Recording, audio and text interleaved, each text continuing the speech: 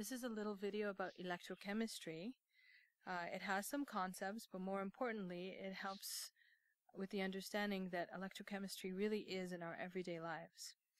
This is dedicated to my chemistry students. Uh, my name is Ms. Suzanne Monir, and this is based on Am I Wrong by Nico and Vinz.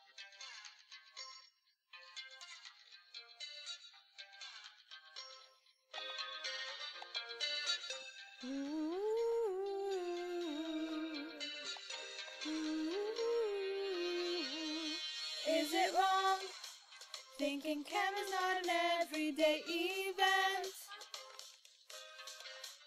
Is it wrong to learn formulas in labs you'll just forget? Have a look at anything with iron metal. What happens to it as you leave it on the outside? At some point you'll see some clear chemistry. It's rusting out from oxygen, the color ain't the same. Let's not go wrong. Electrochemistry's an everyday event. Let's not go wrong. Every breath we take's a clear redox event. Let's study electrochem. Ooh, Begin with oxygen. Ooh,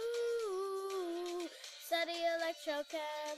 Ooh, Electrochem's an everyday event. What is copper? Corrode to green metal. What is fire? Turn sugar into carbon and gas. You've learned many types of reactions all your life, but when they involve flow of le- electrons, oh, oh, electrons move around, energy can be made. In fact, it may just be what charges your iPhone. Let's not go wrong. Electrochemistry's an everyday event. Yeah, yeah, yeah. yeah. Let's not go wrong. Every breath we take's a clear redox event. Let's study electrochem, Ooh, study electrochem, ooh. study electrochem. Electrochem's an everyday event.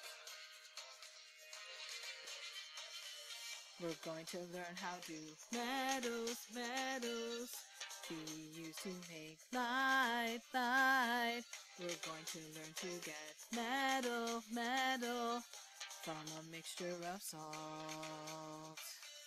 We're going to learn how to metals, metals can be used to make light, light.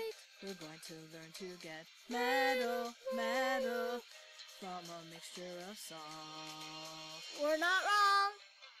Electrochemistry's an everyday event. We're not wrong. Every breath we take's a clear redox event. So when you have an apple, it turns brown when it's cut. That's because of air.